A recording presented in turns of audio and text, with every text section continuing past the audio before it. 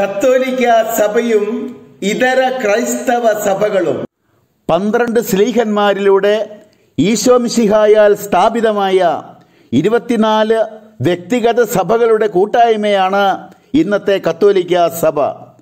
ഇതിൽപ്പെടാത്ത ഇതര ക്രൈസ്തവ സഭകളാണ് ഓറിയന്റൽ ഓർത്തഡോക്സ് സഭകൾ ഗ്രീക്ക് ഓർത്തഡോക്സ് സഭ ബൈബിൾ മാത്രമെന്ന് ചിന്തിക്കുന്ന പ്രൊട്ടസ്റ്റന്റ് സഭകൾ.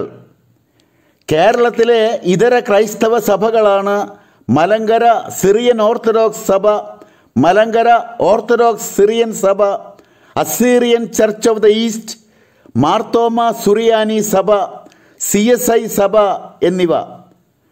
പത്രോസിന്റെ പിൻഗാമിയായ മാർപ്പാപ്പ തലവനായ സ്ലീഹന്മാരുടെ പിൻഗാമികളായ മെത്രാന്മാരാൽ നയിക്കപ്പെടുന്നത് കത്തോലിക്ക സഭ മാത്രമാണ്. അതുകൊണ്ടാണ് നാം കത്തോലിക്കരായിരിക്കണമെന്ന് പറയുന്നത്. വിശുദ്ധമായ ഈ സഭയുടെ പരിശുദ്ധിയുടെ ഉറവിടം ദൈവം തന്നെയാണ്. അപ്പസ്തോലന്മാരുടെ അടിത്തറമേൽ പണിതുയർത്തപ്പെട്ട ഈ സഭ ശ്ലൈഹികമാണ് സകല ജനത്തിനും രക്ഷ പ്രദാനം ചെയ്യുന്ന ഈ സഭ സാർവത്രികമാണ്.